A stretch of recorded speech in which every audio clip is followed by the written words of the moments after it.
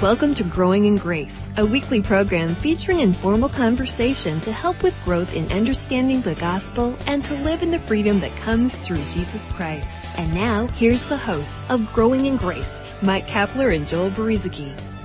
And welcome once again to Growing in Grace. I'm Joel with Mike, and we getting uh, we're getting together to talk about the grace of God, growing in grace, His uh, grace that's not only amazing but is completely and utterly sufficient for everything in life, and God has given it to us in abundance. And so, uh, just with that uh, encouragement, we're going to get started here. Mike, how you doing this week? Well, so far so good, Joel. Uh, you know, life is busy. It seems to be going by faster. They told me this would happen. They said, wait till you get older. It really goes fast. and you know, I think it's true. As much as I do not like winter, even though we live in a, in a climate that, that has plenty of cold and snow, I don't really like it. Uh, even even winters uh, winters are starting to go by a little bit faster for me, a little faster. well, um, my job invol- involves a lot of driving, and so so far this one's not going by slowly. we had uh, just a few days ago big ice storm, as you're well aware of, Mike, and I spent quite a lot of my day driving in that. And uh, long story short, I took this uh, little trip where I, I went to uh, three towns, and it, the total journey was 80 miles, all on highways, and it took me three hours, and that was some that was just not fun. And your body gets stressed, and uh, your mind gets stressed. But there's something about me, Mike, that I I just I love it. I don't know. I've been doing this job for 13 years, and uh, the Iowa winters that we experience. I don't know. There, I love summer. That's my favorite uh, except when it gets really, really hot. But man, when you get to step out on that fresh snow uh, and just hear that crunch under your boots, I love that. There's something about that that I love. And uh, but eventually, in these long, cold Iowa winters, I do. Uh, it does get old eventually, but it takes me a while for it to get old. Well, I've always liked the crunch of the snow too, Joel. In fact, I've liked it uh, up until the time I was nine years old. Uh, after that, I thought you were going to forget about it. You, you know like the, the thing about these ice storms, for those uh, who have had them before, you know that. Uh, the, the, the ice will stay around for a long time unless you get some real warm weather afterward, which we usually don't. And uh, the, the parking lots and everything. I mean, there's really not much you can do about it. Just thick, bumpy ice. In fact, uh, somebody that I know fell down on it uh, yesterday. Oh. Uh, I wasn't with them at the time, but uh, they, you know, they hurt themselves pretty bad. I mean, they hit their I head. Imagine.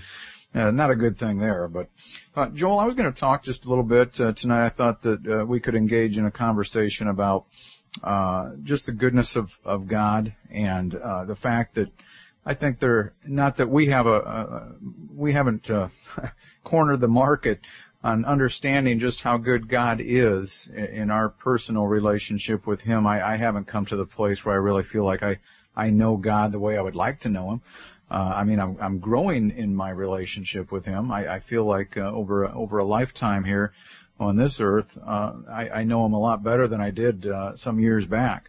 But having said that, I, I don't think we realize just how good God is. And if you've ever been to uh, a church sermon recently, there's probably a decent chance, depending on where your location was, that you probably heard something that uh, when you walked out the door of that church, you you may have felt worse than when you walked Mm. in, uh, wondering where you stood with God. Was God angry with you? Did you let God down? And and all these kinds of things that uh, keep people in bondage. And, and hopefully, with uh, a few minutes of conversa- uh, conversation tonight, Joel, we can we can help correct that.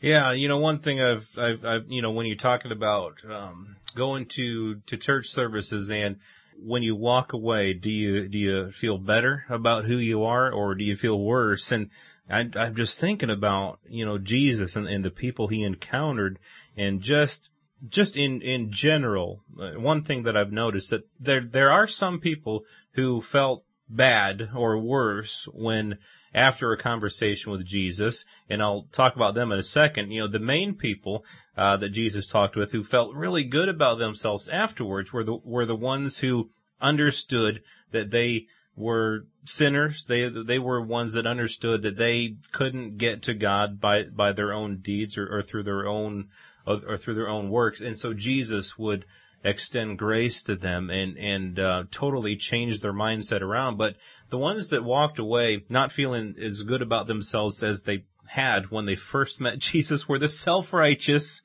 and the proud. I mean, if you read throughout the uh, you know the Gospels of Matthew, Mark, Luke, and John, and, and you read about Jesus, uh, his encounters with people those who were self-righteous, who came to him either, you know, trying to prove their righteousness to him or, or in some way or another were acting as if they were holier than everybody else. Those are the ones that Jesus had the harsh words for, uh, but yet he would wrap his arms around those who were really pretty bad sinners, uh, in, in the world's eyes and, and he would help them to understand that God loved them and that uh, his grace was generous for, for them. Uh, I'm just I'm just thumbing through Matthew, and let me just point out a few things about Jesus and, and what he did for people. Uh, a leper comes up to him in Matthew chapter eight. Lord, if you are willing, you can make me clean. What did Jesus say? he answered the question. He said, I am willing. Uh, be cleansed. And immediately the leprosy was healed. And, and the stories go on. We're familiar with them. The centurion soldier wanted his uh, wanted Jesus to uh, heal his son. Jesus said, all right, I'll come on over. He says, man, you don't even have to do that. Just speak the word. I know you've got the authority. Uh, his, uh, his child was healed. Uh, as, as I continue to look through all these, let's see. When evening had come, many were brought to him, uh, demon possessed. He cast out the spirits with a word. He healed all who were sick. I'm just th- one after the other. Uh, mm-hmm. Take up your bed and walk. Jesus says to this one here. Yeah, your faith has made you well and the woman uh, was made well within the hour. And, and it goes on and on. And, and, and then we come to Matthew chapter 11, Joel, and I, and I find this very interesting. John the Baptist, who, you know, was the front runner to Jesus, so to speak, uh, he's in jail now, and he knows that his life is probably at an end. And he's probably, you know, to be honest with you, the human side of him is, is coming to grips with that. And he sends out a couple of disciples uh, to track Jesus down and and they find him and they say, uh, you know, John wants us to ask you, are you the are you the one? Are you the one we're supposed to look for, or is there another? And Jesus had a way of answering sometimes without saying yes or no. And it seems like many times, whether we realize it or not, when Jesus answers a question, he doesn't say yes or no, but he'll answer the question and probably a whole bunch of other questions. And uh, most of the time, people don't even realize just how many questions he's really answering. You know, but I think says, that's one reason John, why the blind see, the lame walk, the lepers are cleansed, and the deaf hear, the dead are raised up, the poor have the gospel preached to them, and blessed is he who is not offended because of me. And uh, there you have it. I mean, and Peter in the book of Acts, Joel, he said that Jesus went about doing good and healing all that were oppressed of the devil. If you want to see what God is like, Take a look at Jesus. He's a manifestation of God the Father. And everywhere he went, he met people's needs. He never turned anybody down, whether their need was for, for healing, uh, for forgiveness, if they were hungry. Uh, whatever their need was, Jesus was able just to reach out. One of my favorite stories, uh, the woman who was caught in the act of adultery, they were going to stone her, and they tried to trap Jesus. They said, hey, the law says we should stone her. Uh, how are you going to wiggle out of this one? Jesus bends down, starts writing in the sand, and then says, "Hey, uh, those of you without sin, you cast the first rock." And uh, they all dropped their, their rocks and, and walked away, hanging their heads. And so, uh, when they had all left, Jesus said, "Well, you know, who condemns you now?" And she says, "Nobody." And he says, "Well, I don't either. Now just go on and don't do this anymore. You're forgiven." Uh, you can do better than this. I mean, I'm paraphrasing, obviously, but this is this is God. He's your friend. He's on your side. He is not against you. He is not angry with you. Uh, God dealt with uh, his, his, anger towards sin. He dealt with that. Uh, God the Father dealt with that on His Son, Jesus, at the cross. He took all of His anger out. Imagine all of the fury and anger that God has against sin. He took all of that out on Jesus Christ uh, he doesn't take it out on us anymore. That's great news. Yeah, and as Hebrews ten uh, twenty six, I think it is, says that if if that's not enough for you, then it, I don't know what is. I'm paraphrasing that too.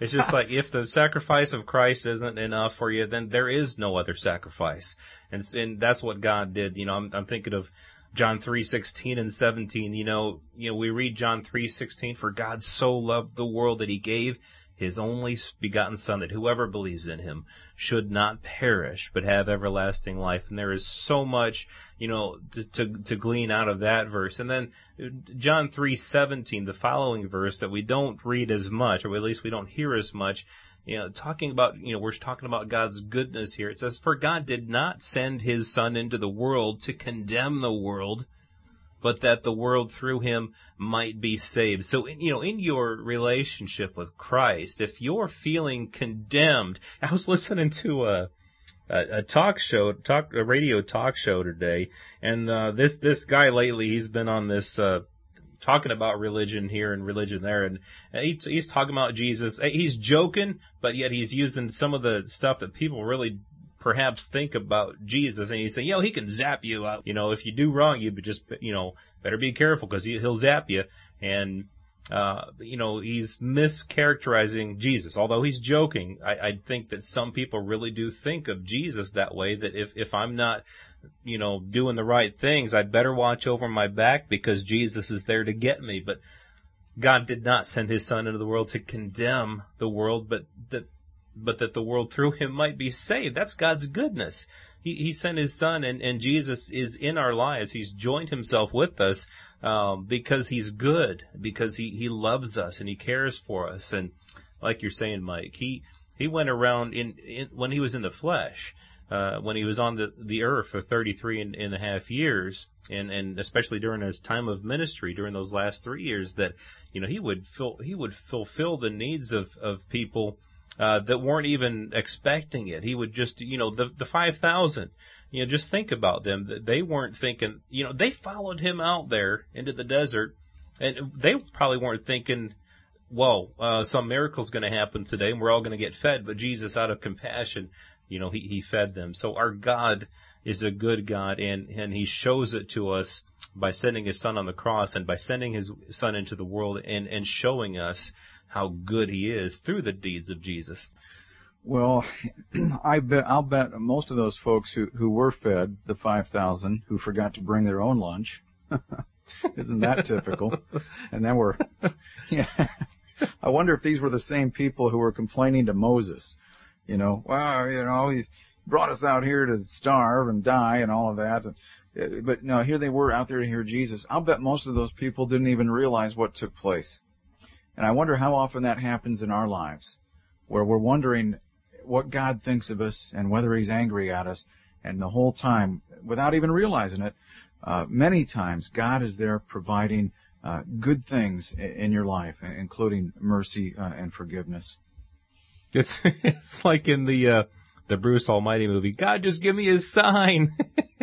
if you've ever seen that movie, and then all these sign, you know, there are there. But anyway, uh, we're we got to end things for today, Mike. This has been a good one. I I really love it. Uh, just being encouraged in, in the simplicity of the gospel and uh, of God's goodness, because there, as we started off talking about early in the program, you can go into a lot of churches and you're going to hear about this Jesus. You're going to hear about this word called the gospel, but you're not necessarily going to hear it in its truth, or at least not in its in, it, in its entirety. Uh, just the fact that God is good, that He loves us uh, unconditionally, and He is always extending His mercy and grace and His goodness and His love toward us. You've been listening to Growing in Grace with Mike Kapler and Joel Beriziki, a weekly program featuring informal conversation to help with growth in understanding the gospel and to live in the freedom that comes through Jesus Christ.